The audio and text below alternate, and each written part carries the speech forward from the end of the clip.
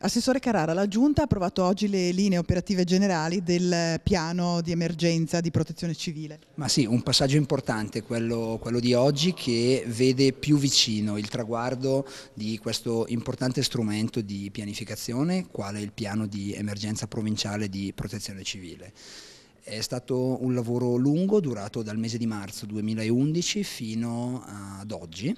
È stato redatto ovviamente in collaborazione, in sinergia con tutte le forze dell'ordine, con Prefettura di Bergamo e tutti gli enti che si occupano come noi di sicurezza e di protezione, protezione civile. Il passaggio della Giunta di oggi lo proietta verso l'ultimo passaggio che è quello del Consiglio provinciale che è atteso per la fine del mese. Un dato importante direi da sottolineare è quello che per la prima volta uno strumento di questo tipo non viene redatto all'esterno attraverso una specifica consulenza ma attingendo proprio alla professionalità dei nostri dirigenti, dei nostri funzionari che lo hanno portato avanti oserei dire in modo assolutamente egregio. Un altro dato importante è quello che tutte le segnalazioni che ci venivano dal territorio, quindi dai sindaci, dagli enti, dalle comunità montane, sono state tutte fatte proprie all'interno del piano, quindi tutte le richieste che vengono dal territorio siamo riusciti a soddisfare soddisfarle. Credo che sia una notizia importante per la sicurezza del nostro territorio e di riflesso della nostra gente.